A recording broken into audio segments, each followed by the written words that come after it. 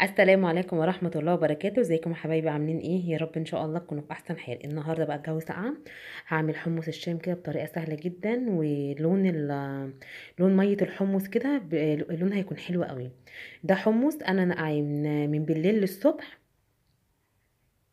بصوا بعد كده الحمص بيكبر. مية عادي مية من الحنفية عادي. وبعد كده بقى هبدأ اسلق الحمص وهسلق الطماطم والجزر دول. وبعد ما يتسلق الطماطم والجزر آه هحطهم آه هقشر من القشر من الطماطم وهضرب الطماطم والجزر في الخلاط. أهو. هنا هسلق بقى الطماطم والجزر وهنا هسلق الحمص.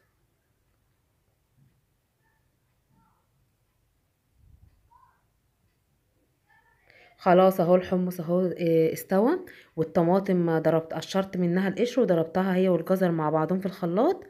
وبعد كده هبدأ أحطهم بقى مع الحمص. عشان يطلع بقى لون مية الحمص بقى اللون اللي أنتوا بتجيبوه من بره.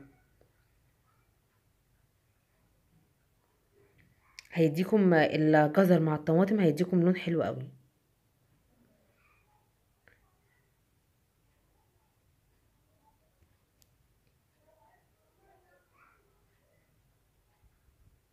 وده بقى توم أربع فصوص توم صغيرين. هحط بقى التوم مع مع الحمص وهحط التوابل والليمون. كده خلاص الحمص استوى.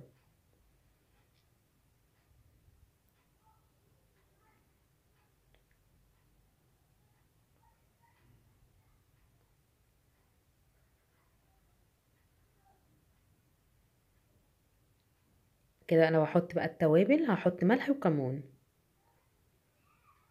بس هو توابل الحمص ملح وكمون بس. الكمون نص معلقة. واعصروا بقى ليمون كتير في في الحمص. أنا هعصر ليمون في في الحلة. ممكن لو أنتوا حابين ما تحطوش ليمون في الحلة وممكن مع كل كوباية تعصروا معاها ليمونة ممكن تعملوا كده. بس هو أحسن حاجة حطه في الحلة أحسن على طول. ده الكمون.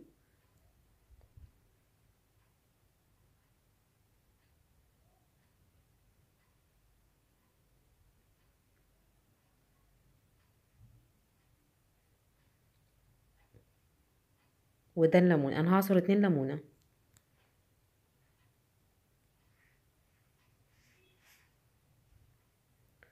وبس كده كده خلاص الحمص كده خلاص. وأول ما ما الحمص يغلي هبدأ بعد كده بقى اغرفه هحطه في الكوبايات.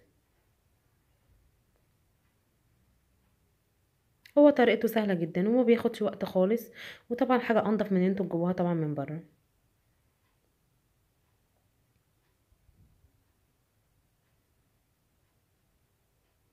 خلاص بصوا أنا بوريكم بقى لون المية.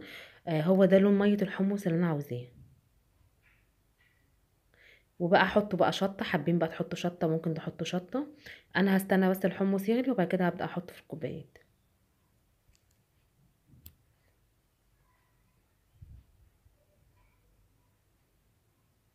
خلاص اهو الحمص غلي اهو حطيته في الكوبايات. بصوا لونه جميل إزاي؟